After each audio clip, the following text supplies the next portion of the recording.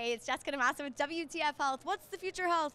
I'm talking to the who's who of health tech and healthcare innovation. And look who is next to me right now here at HLTH 2022. I've got Deena Shakir. She's partner at Lux Capital. You guys might know her for making a gigantic investment in Maven. We're going to find out what Deena thinks about what's happening in terms of health tech and women's health and all sorts of digital health investment. But before we do that, we're going to hear about Lux Capital. So, Deena, welcome to the show. Thank you. I'm so happy to be here. Well, I can tell you a little bit about Lux. We've been around about 22 years. We have about 4 billion AUM. We invest in everything from pre-seed through pre-IPO. Health tech is obviously a big area of focus for us, but we also do everything from infrastructure to ML and AI to robotics, you name it. Awesome. So we are going to pick your brain about what's going on because everybody's panicking about the market. So first of all, you panicked at all about the the health tech market writ large. Everybody's looking at those rock health numbers. The, the rounds are there's just as many rounds, but the, the dollar amounts are smaller. Valuations are coming back to a normal place. What, what is your, your feel on the overall take in the market? Well, I mean, even outside of health tech, the market is definitely tumultuous. That's clear. And obviously, health tech itself, after the period of exuberance that we had in 2021, is seeing a little bit of a dip. There's no doubt about that. That being said, as venture capital investors, we have long time horizons. We want to invest in things and have sort of a 10 year plus outlook. So it's actually an incredible time to be doing early stage investing.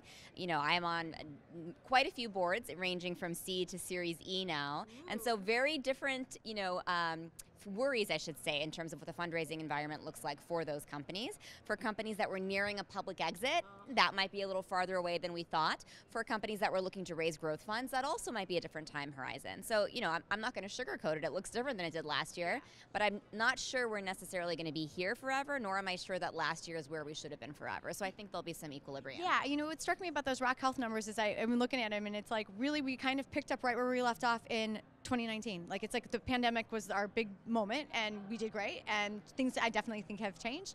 But yeah, we kind of picked up going back to the normal that we were the trajectory of growth that was a little bit more reasonable, right? We'll see more ups and downs, I think, as well. You know, I, I think that was a moment in time, but again, long-term time horizons. I say that healthcare is recession-proof in the sense that you know my uterus and your kidney does not care what the economic situation is.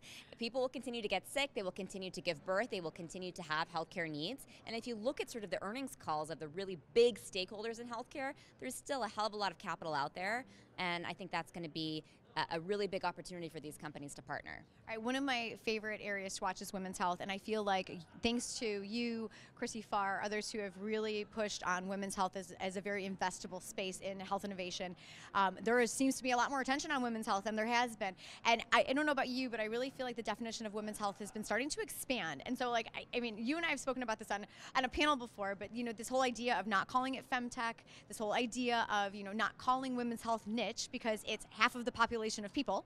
And the whole idea of not just focusing on reproductive health, because that's only really half of a woman's life. Yeah. So, talk to me about what you're seeing in terms of women's health. Do you feel like the definition of women's health is expanding? And are you seeing that reflected in the startups that are throwing pitch decks across your desk, or what? Definitely. I mean, let's let's start with vocabulary. There is no perfect nomenclature. Like I will recognize that. So as much as I like criticize it, I really do criticize the term femtech. Yeah in part because I think it just sort of relegates women's health to some sort of you know frilly pink uh, niche category. Um, I recognize that women's health is not as inclusive of a term just in terms of you know vocabulary as we would like. So there's no perfect term out there. And Rock Health has called it women you know with the X health, and we we I like to call it women's and family health. At the end of the day, you're talking not only 51% of the population, but 80% of the dollars and decisions that are made in healthcare. Neel Shah from Maven Clinic, their chief medical officer, calls women the, the chief chief medical officers of the home, and that's absolutely true. So I think it's a category that is massive. We're just beginning to see some of these exciting announcements, including Maven's just from yesterday, yes. and there is so much more to come. Yeah, let's talk about that Maven investment. So you have been uh, invested in Maven for a while now. So 90 million now, an, an additional um, round for them. I think it's a Series E, right, from General Catalyst. Yes. So tell me about that. That had to be exciting for you to even go through. So exciting. I mean, there's so much to talk about. I am incredibly, incredibly proud of Kate and Neel and Will and the entire team and the work that they have done. I mean, a financing is a financing, but what's yeah. really impressive is like the, the sheer number of growth, the number of covered lives they have now, the expansion into Medicaid, the expansion with not only half of the top Fortune 15 companies that are their customers as employers, but also a big portion of the major national payers. So they're expanding into additional categories as well in the communities that need it most. Most, not to mention the thought leadership, of course, that both Neel and Kate have had, oh particularly in a, in a post-Dobbs world. No, it's very exciting to see them achieve this level of success. I'm excited for them. I remember when they first launched. And the other thing I want to call out, by the way, is the incredible women behind the scenes and on on the cap table. So obviously, you know, I'm on the board of Maven, but the deal came to me through Jess Lee from Sequoia, Oh, who's also a young mom of two, and she led the Series B. And then we brought in, you know, General Catalyst Holly Maloney, who's a, also a, a mom of two young children. And there's really a trend here, and I think I think we'll see a lot more of that. Coming. I love that. I love that. All right. One thing I do want to ask about the women's health space. What do you think is the biggest gap in, in women's health care? Is there any one area where you're just like, wow, there should be this, but I'm not seeing it? Because I feel like there's a lot of those categories, like we talked about, like fertility, the reproductive health space, the period tracking, all of that stuff. And even now, I think menopause is starting to get like I've seen more startups popping up in that space. But it, what that is your big answer last Oh, year? yeah, last year. last year. That's changing. So What's you know. Okay. listen. First of all, we've got lots of things going on across the board, but it is still really underinvested in. So even though we have unicorns now, and you know, and primary care like uh, well, uh, Tia with the Series B from last year, of course, with Maven and the Series Z, and, and lots of fertility companies, like that's still not saturated. Yeah. There is still lots of room there, but you know, other areas like heart health is one where it is still the number one cause of death for women, and it still has this misconception that it's an issue for you know for men. Yeah. It's not only women; it's primarily you know women of color who have an outsized impact. So heart health is one area. Early detection of uh, hormonal uh, uh, disorders is another one, whether it's PCOS or endometriosis, cancer.